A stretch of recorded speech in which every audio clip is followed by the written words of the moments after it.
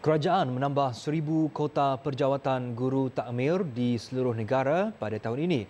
Menteri di Jabatan Perdana Menteri Hal Ehwal Agama, Senator Dato' Idris Ahmad berkata, pertambahan kota tersebut menjadikan jumlah keseluruhan guru takmir bagi tahun ini seramai 5,000 orang dengan kenaikan jumlah peruntukan sebanyak 10.8 juta ringgit setahun.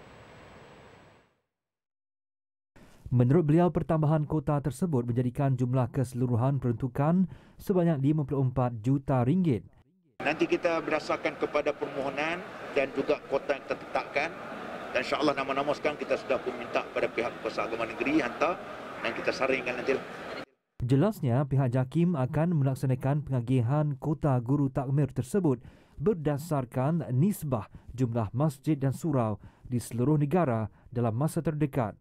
Ujarnya lagi keperluan pengajaran guru-guru takmir tersebut juga kini tidak lagi terhad di masjid dan surau sahaja malah akan turut mengajar di agensi-agensi lain seperti institusi penjara, institusi warga emas dan kebajikan di bawah Jabatan Kebajikan Masyarakat dan agensi anti dadah kebangsaan.